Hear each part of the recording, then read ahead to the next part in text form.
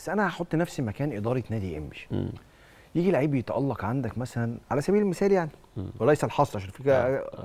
أوفا مثلا محمد حمدي لعيبة متألقة جدا طبعا. ومطلوبه في الماركت دلوقتي صح فيجي لهم مثلا عرض ما يترفضش والله عرض أوروبي عرض محلي ما يترفضش يعني اللي. هو 30 مليون 40 مليون حسب بقى الدولار بقى بره أو جوه وبتاع آه فيجي يقول لك والله يا كابتن تامر إحنا مقدرين جدا إنك عايز تكون فرقة محترمة جدا بس إحنا برضه. نادي يعتبر نادي استثماري أو عايزين نكسب فلوس زي ما بنصرف عايزين نكسب فهنستغنى عن دول. فأنت تلاقي نفسك في ورطة إن أنا بحاول أكون فرقة في نفس الوقت النادي له تطلعات.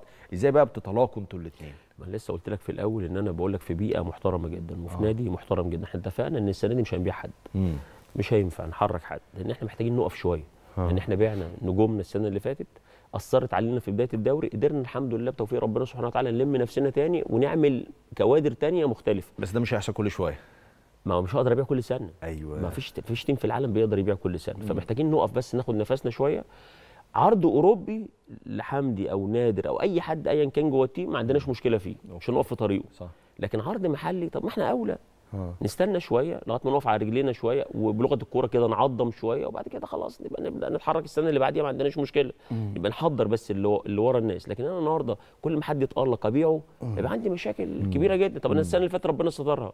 وقدرنا نلم نفسنا وقدرنا ن- طب السنة الجاية أنا مش ضامن. صح. ومش ضامن اللي هجيبه. بالاسعار اللي موجودة دلوقتي بقى الموضوع صعب علينا جدا مم. جدا. مم. فيبقى عندنا مشاكل كان معايا كبيرة كابتن محمد إسماعيل مدير الكورة في آه. انبي شخصيه آه، محترمة طبعا جدا. طبعا سألته نفس السؤال قال لي مش هنبيع حد لا، مش هنبيع حد. بس رحت أنا رحت أنا قلت له حاجة وهقولها لك برضه. آه.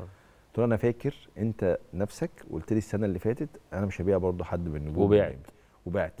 أحيانا المغريات بتبقى أكبر آه. منك إنه لا إحنا خلينا نكون متفقين إن إحنا آه. السنة دي مختلفة شوية. آه. إحنا قررنا خلاص قرار وخدناه. مهما كانت المغريات إحنا لا. لكن إحنا لينا تارجت بيع للسنة اللي بعديها. هايل. ده نحققه. أيوه. ما عندناش مشكلة فيه. أيوه. ده ما عندناش مشكلة دي فيه. نقطة تانية يا كابتن آه. تامر وأنت وأنت راجل مطلع جيد جدا حبيبي. هو أحيانا يقول لك إيه؟ أنا مش هبيع حد في المطلق. طب وانت. هتكمل حياتك إزاي؟ أنت كنادي أنت عايز تصرف إيه؟ وبتاع أنت عايز تكمل. فأنت عامل plan.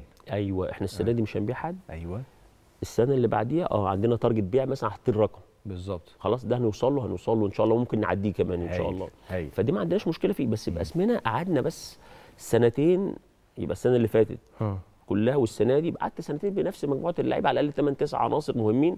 عايز تتحرك فيهم بعد كده على الأقل تحضر البدايل. صح. وأنت وأنت لو. عندك اتنين تلاتة مطلوبين دلوقتي لو سبتهم موجودين مع فريق بتكونه ممكن السنة الجاية يبقى عندك ستة سبعة. هي دي النقطة. آه. وكمان أو كمان سنهم صغير. عارف لو. سنهم كبير كنت قلت لك. ممكن تتحرك آه. فيهم الحق بقى بيع مش صح. هتعرف تبيع السنة الجاية لكن هم سنهم صغير فأنا آه. مش مستعجل عليهم أنا. بالعكس النهارده اللي هو ب 10 قروش بكرة ممكن يبقى ب 20 ممكن يبقى ب 30 عظيم جدا